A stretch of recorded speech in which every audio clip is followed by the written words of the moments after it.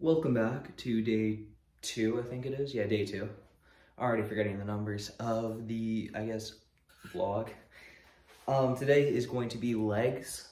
It's really just legs. I'm not going to try and say, oh, it's like the glutes and the calves and the thighs and the, it's legs.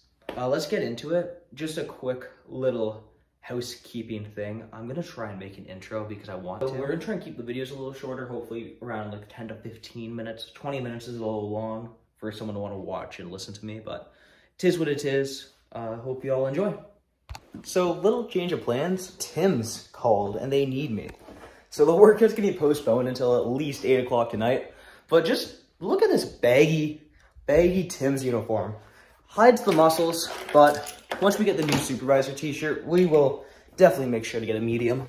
So the biceps are popping. Anyways, uh, let's have a good shift at Tim's and have a nice workout at 7.30ish. Um, so we're at work and they gave me this new red t-shirt for Smile Cookie Week. And like, it's sick and all, but it's a large still. So like, I can fit a whole other body in here. But like, lining sucks in here. Where's the good lining? We we still look kind of big. So like, we're at work and we get a free meal. So we're gonna get a turkey melt because that's the highest protein item at Tim's. Trust me, I work here. Anyways, workout tonight's just being postponed a bit, but Tim Hortons, check. Chain, check. Anyways, love you. Just finished a cheeky four hour shift at Tim's. It's now like 7.50ish. Time to go home and obliterate our legs because we're never skipping a gym day. I have two tests to study for, but nah, it's time to hip thrust. It's been bent. Like, the clip is stuck on there. Another day, another victory for the OG.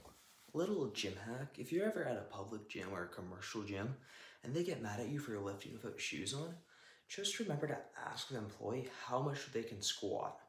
And if their weight is lower than how much you can squat, remember you're always right. Running shoes are horrible because of the amount of foam. When you squat, you're pushing all like the power because it's all about the transfer of power from the ground to your body. So when you squat down into a, like a rubber sole or like Skechers memory foam, you're putting all your power into that sole and the sole's absorbing that if you went barefoot or with socks on, you're putting that like power, that transfer of power right into the ground and it's coming right back in you to push that weight back up. That's why Andrew Eubanks doesn't hit this much weight. There's motivation and there's dedication. And it's a very common thing to get mixed up. Everyone's like, oh, I wish I had your motivation.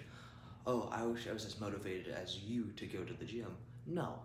When I first started going to the gym, I was purely based on motivation.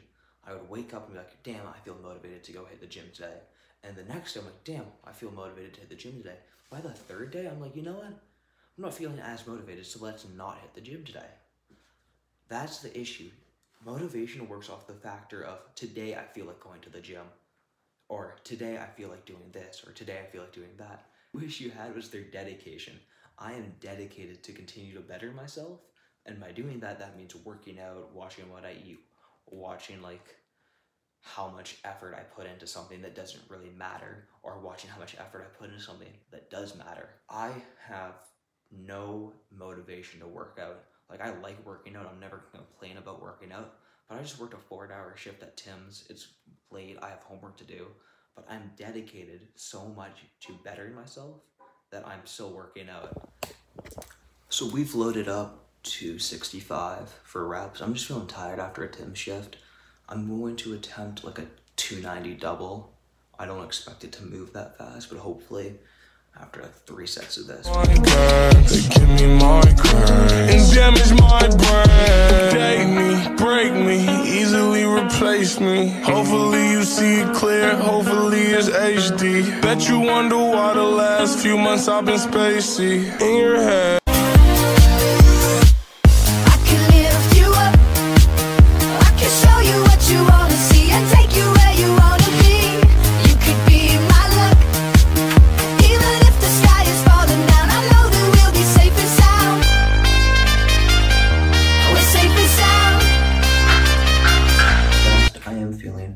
incredibly tired. I'm so Drew Colley. The Sour Patch Kids are a key to building an insane amount of muscles, obviously. Look at Drew Colley. Let's see Andrew Eubanks eat these Sour Patch Kids. It's stuck. This thing's stuck.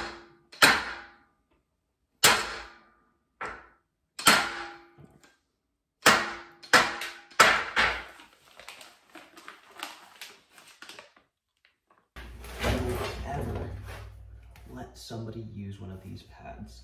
I got this when I first started working out because I hated the way the bar fell on my back. I didn't realize that that's just the way it is.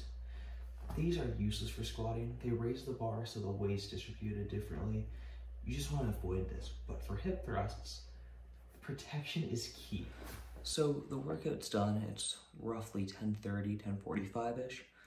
We started working out around 8.30-ish. Took us a bit of time. We weren't feeling the best after the Tim shift. We were feeling a little sick. Um, we were also feeling crazy tired, so I gave myself a little rest. I gave myself a bit of slack.